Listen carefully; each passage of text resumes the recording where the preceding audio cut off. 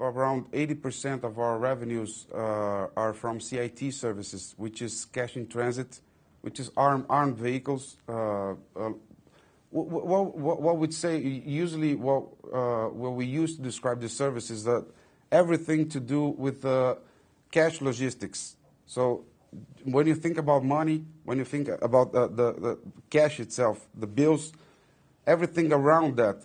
There is not bank, we we provide the services.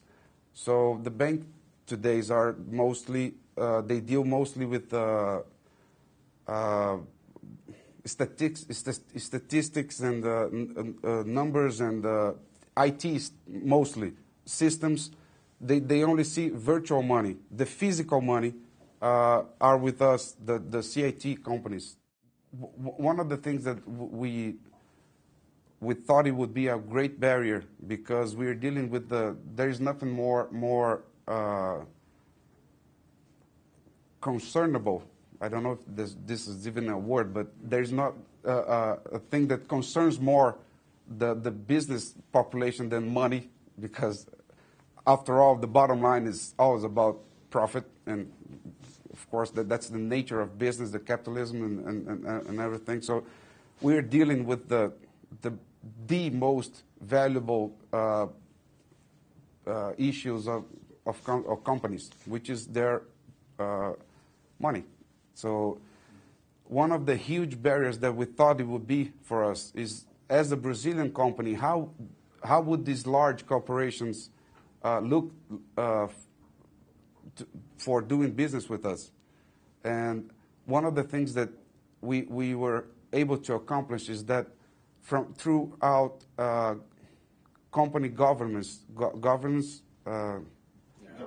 Governance, uh, we we were able to establish a really transparent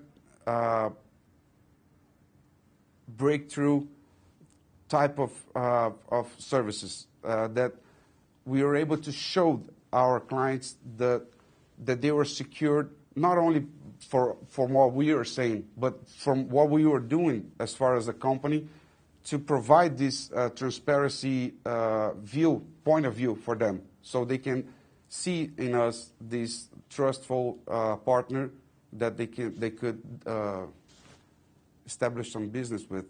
On a business point of view, I think not only security market or Protege, Brazil itself, and talking about a bit about our country, this is a true that uh, uh, uh, an issue that we have passed the point that believing that thinking that what if we go global? There's not a question of what if or or if we're going to go globalize our industry or become part of a global industry. There's not more of a if question, it's more of a when question.